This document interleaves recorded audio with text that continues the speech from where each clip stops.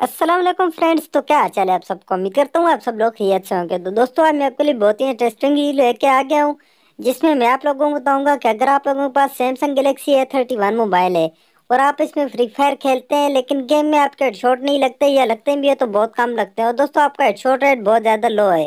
तो दोस्तों, आज की वीडियो में मैं आप लोगों को एक ऐसी गेम की सेंसिटिविटी बताऊँगा, जो कि अगर आप लोग अपने मोबाइल में करेंगे तो आपका हेडशॉट रेट बहुत ज़्यादा बढ़ जाएगा और दोस्तों, आप लोगों के हेडशॉट बहुत ज़्यादा लगेंगे। तो दोस्तों, अगर आप लोग भी जानना चाहते हैं तो देखते रहिए इस वीडियो को। तो चलिए दोस्तों, वीडियो को शुरू करते हैं। लेकिन वीडियो शुरू करने से पहले, अगर आप लोगों ने अभी तक मेरा चैनल सब्सक्राइब नहीं किया तो चैनल को सब्सक्राइब कर वीडियो को लाइक कर दें। तो दोस्तों, जो सेंसिटिविटी मैं आप लोगों को बताने वाला हूँ, आपने यही करनी है। अगर इससे ज़्यादा या इससे कम करेंगे तो दोस्तों एनिमी के ऊपर आपका एम जाके लॉक हो जाएगा। एनिमी को आपका हेड शॉट नहीं लगेगा तो दोस्तों एनिमी आपको मार के चला जाएगा। दोस्तों, जो सेंसिटिविटी मैं बताने वाला हूँ, आप लोगों ने यही करनी है। तो दोस्तों, चलिए वीडियो को शुरू करते हैं। तो फ्रेंड्स सबसे पहले आप लोगों ने अपनी गेम में आ जाना है। गेम में आने के बाद दोस्तों, आपने ऊपर सेटिंग वाले ऑप्शन में आ जाना है। सेटिंग वाले ऑप्शन में आने के बाद दोस्तों, आप लोगों ने सेंसिटिविटी वाले ऑप्शन में आ जाना है। सेंसिटिविटी वाले ऑप्शन में आने के बाद दोस्तों, आप लोगों ने जनरल को नाइन्टी पे सेट कर लेना है।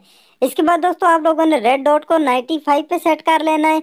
दोस्तों, इसके बाद दोस्तों टू एक्स को आप लोगों ने हंड्रेड कर लेना है। इसके बाद दोस्तों फोर एक्स को भी हंड्रेड कर लेना है।